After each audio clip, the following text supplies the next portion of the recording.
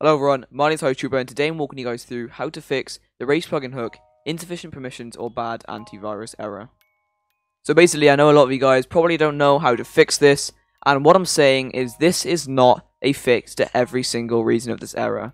A lot of the time there are probably about a thousand reasons that you can get this error but what I'm showing you in this video right now is the most popular way so if this didn't work for you please don't comment down below keep telling me it doesn't work and things like that just tell me that you've tried it all, tell me that you've tried resetting your PC, everything like that. Just tell me that you've tried doing everything I've said in the video, and then you can comment down below. The first thing you guys want to do is head down into your Windows bar, and what you're going to do is literally just type, all you're going to do is type virus and threat protection. Open it on up, and what you'll be able to see is you can see right here that mine is turned on, it's turned off even. And basically, what you're going to want to do is, let me turn it on quickly for you. What you're going to want to do is click Manage Settings, and this one right here, you're going to want to turn off real-time protection. Turn that off is going to bring up a manager control panel. It might go a little bit blank on the live stream because, you know, it's not going to let you guys see administration things. So when my screen goes black, that is pretty much because it's bringing up a yes or no. But basically when you click that, click yes and it'll then turn off your real-time protection. And then if you do not have a virus and threat protection through Windows and you are running a third-party one like McAfee and things like that, it's exactly the same thing. It'll be called the exact same thing on McAfee, Bulldog, any other thing. All you gotta do is go into your settings, find real-time protection, and simply just turn it off.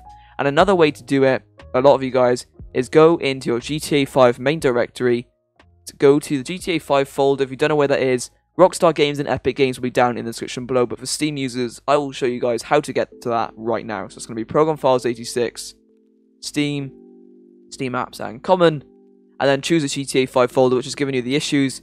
Simply head down right here to Rage Plugin Hook, right click on it, and then run it as administrator. The screen's going to go black again real quick.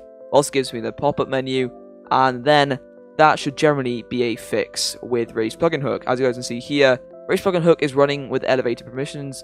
You should not run Rage Plugin Hook with elevated permissions unless you experience issues otherwise. So there you guys go. You are experiencing issues with the non with the not enough permissions error. So that is going to be the reason why you are getting your run as administrator. And if this doesn't work, if none of these work for you, what I can actually recommend doing is simply just resetting your PC. If that doesn't work, try redoing your GTA 5 or reinstalling your Rage plugin hook. And if this didn't help you, comment down below and I'll link you to my Discord or I'll try explain it in the comment section and try fix your error and try give you pretty much every single other reason that this could be causing the error. So if you guys did find this video useful, please, please, please be sure to smash that like button.